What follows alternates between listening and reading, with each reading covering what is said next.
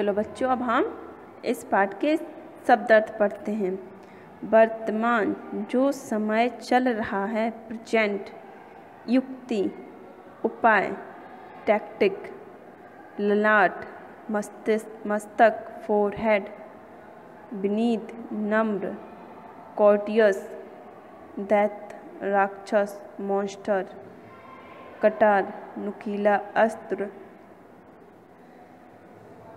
अनुभव महसूस करना एक्सपीरियंस राह, मार्ग, रास्ता पाथ त्याग, छोड़ना सेक्रीफाइस भय, डर फियर त्रस्त, दुखी, परेशान अफेक्टेड विकराल, भयंकर हॉरिबल धीरज, धैर्य पेशेंस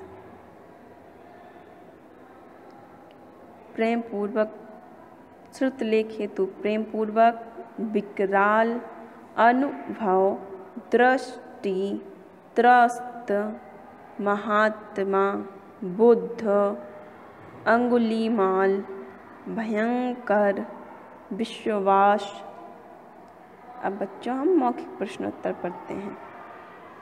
कौशल प्रदेश के राजा का क्या नाम था? कौशल प्रदेश के राजा का नाम प्रसेनजित था। पहरेदार ने महात्मा बुद्ध को जंगल में प्रवेश करने से रोकने के लिए क्या कहा? पहरेदार ने महात्मा बुद्ध से कहा कि महाराज, उधर भयंकर डाकू अंगुली माल रहता है, उससे प्राणों को खतरा है, कृपया उधर ना जाएँ।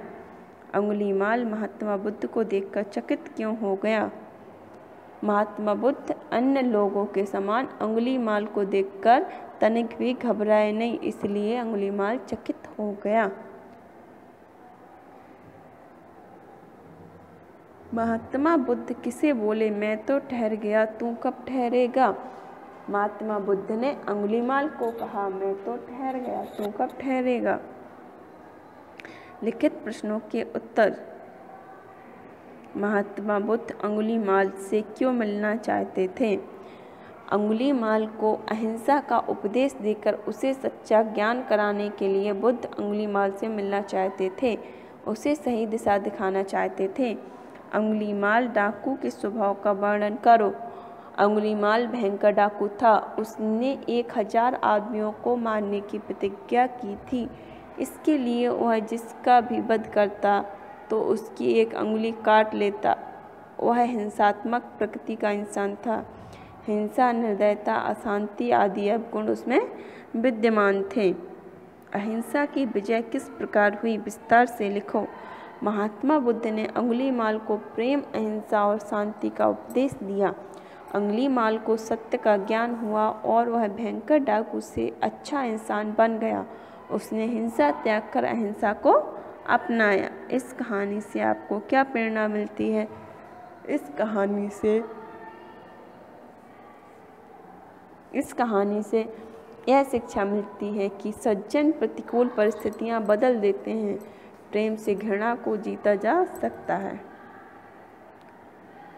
दिए गए प्रश्नों के लिए उत्तर का सही विकल्प चुनिए। कौशल प्रदेश की राजधानी का नाम क्या था? श्रावस्ती। किसने सोचा आदमी आदमी को क्यों मारता है? महात्मा बुद्ध। महात्मा बुद्ध ने अंगुलीमाल को क्या उपदेश दिए? शांति, प्रेम, दया का। अंगुलीमाल किसका शिष्य बन गया? महात्मा बुद्ध का। निम्नलिखित शब्दों का अपने वाक्य में प्रयोग करो। दया, गरीबों पर दया करो।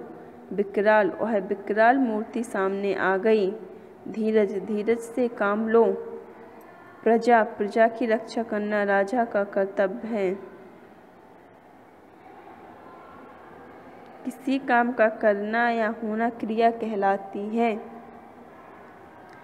नीचे लिखे अनुच्छेद में से क्रिया और संज्ञा शब्द छानकर नीचे दी गई जगह में लिखो। तो हमारे संज्ञा क्या क्या होंगे? वर्षा, आसमान, सूर्य, नील गगन, इंद्रधनुष, चिड़िया, विद्युत, बैट, बॉल। और क्रिया क्या होगी? हो गया था, रहना रहा था, दिखाई दे रहा, सुनाई दे, देने लगी। बुलाने गया और गया।